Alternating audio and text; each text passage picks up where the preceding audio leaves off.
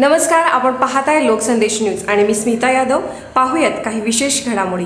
अभ्यासासोबतच शाळेत मुलांना शिकवले भाकरी बनवण्याचे धडे सांगलीतील जत तालुक्यातील या जिल्हा परिषद शाळेत मुलांना भाकरी थापण्याचे धडे शिकवले जातात. फक्त धडे नाही तर चक्क भाकरी बनवण्याची स्पर्धा घेतली गेली. पुस्तकी ज्ञानाबरोबर मुलांना स्वयंपाकाचंही कौशल्य मिळावं या उद्देशानं भाकरी बनवण्याची अनोखी स्पर्धा घेण्यात आली. सुमारे ऐंशीहून अधिक मुलांनी उत्स्फूर्तपणे सहभाग घेत आपलं पाककौशल्य दाखवलं. सांगलीतील जत तालुक्यातील या जिल्हा परिषद शाळेत मुलांना भाकरी थापण्याचे धडे शिकवले जातात. फक्त धडे नाही तर चक्क भाकरी बनवण्याची स्पर्धा घेतली झाली तील सर्वच पालक हे ऊसतोड कामगार आहेत. त्यामुळं पालकांचं स्थलांतर होतं आणि त्यातून एक समस्या निर्माण होते की जसे पालक स्थलांतर करतात विद्यार्थीही पालकांसोबत जातात. आणि जर ही समस्या सुटली नाही तर आपल्या शाळेत विद्यार्थी टिकणार नाहीत. हे आम्हाला जाणवलं. मग त्यातून आम्ही दोन हजार साली एक कल्पना सुचली मला की जर विद्यार्थी त्यांची भाकरी बनवायला शिकले स्वयंपाक बनवायला शिकले तर त्यांच्या आजी आजोबाजवळ ते राहतील आणि शिक्षण त्यांचं कंटिन्यू राहील.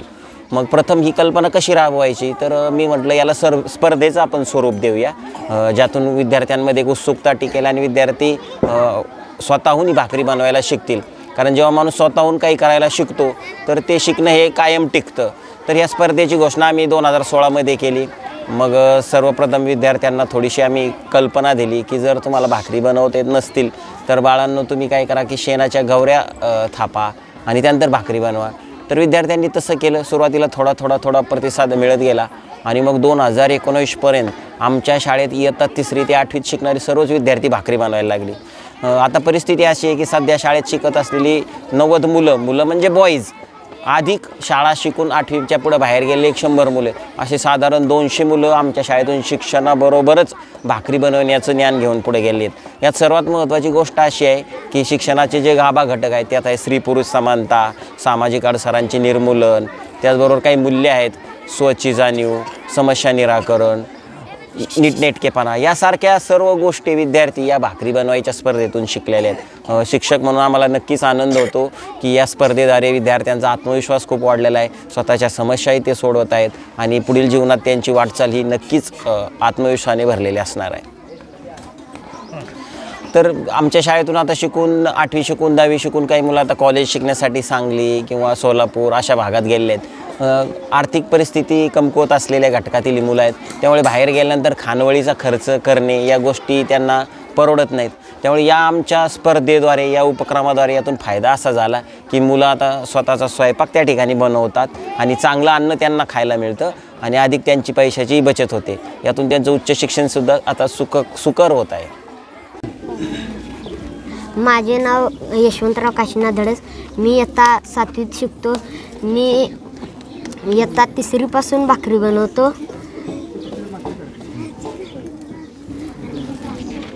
मला अशा भाकरी बनवा येतात आणि चहा बनवतो भात आणि आमटी.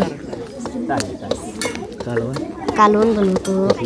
त्या बटाट्यात बनवतो वांग्यात.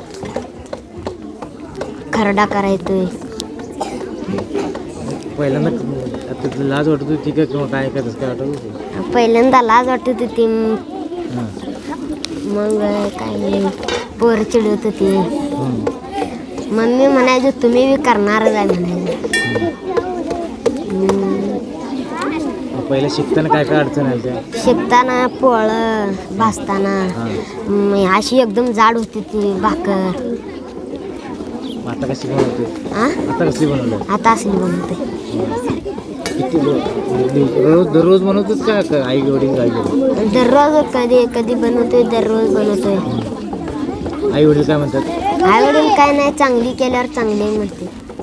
आई वडिलांना कधी घाल करून घालतो अ, सुरुवातीला पालकांना वाटलं की सर हा ही वेगळ्या प्रकारची काय घेत आहेत नवीन स्पर्धा. त्यांनी काही विरोध दर्शवला नाही. पण तितकासा त्यांचा काही उत्स्फूर्त प्रतिसाद नव्हता. पण जसं जसं विद्यार्थी भाकरी बनवायला लागले त्या पालकांना मदत व्हायला लागली. कधी आई आजारी असेल किंवा कामावरून घरी उशिरा आली तर मुलं स्वयंपाक करून ठेवायला लागली. तर पालकांना जाणवलं की ही शिकवलं जाणारं शिक्षण शाळेत हे खूप छान आहे. आणि त्यानंतर मात्र आता पालकांचा उत्स्फूर्त परिसा प्रतिसाद आहे. ते घरात आई मुलांना भाकरी बनवायला शिकवायला मदत करते. वडीलही प्रोत्साहन देतात. तर एकूणच आता उत्साह उत्साहवर्धक असा हा त्यांचा प्रतिसाद आहे. बाहेरच्या लोकांबद्दल सांगायचं तर सांगली जिल्ह्याचे आपले कलेक्टर साहेब माननीय डॉक्टर अभिजित चौधरी साहेब स्वतः शाळेला भेट दिली. त्यांनी देखील विद्यार्थ्यांचा हा भाकरी बनवायचा उपक्रम जवळून पाहिला अनुभवला आणि विद्यार्थ्यांचं कौतुक केलं. त्याचबरोबरीने आपल्या जतचे तहसीलदार बनसोडे साहेब प्रांताधिकारी साहेब त्याचबरोबर आमच्या शिक्षण विभागातील आमचे शिक्षण विस्तार अधिकारी गट शिक्षण अधिकारी या सर्व मान्यवरांनी देखील भेट दिली. आमचे केंद्रप्रमुख साहेब वेळोवेळी भेट देतात. त्याचबरोबरीने बाहेरून आलेल्या वेगवेगळ्या भाषण करण्यासाठी किंवा वेगवेगळ्या कार्यक्रमाच्या निमित्ताने आलेल्या व्यक्ती देखील हा उपक्रम जाणून घेतात आणि त्यांना त्याचं कुतूहल देखील वाटतं. आणि विद्यार्थ्यांच्या पाठीवर ते शाबासकीची थापसुद्धा मारून.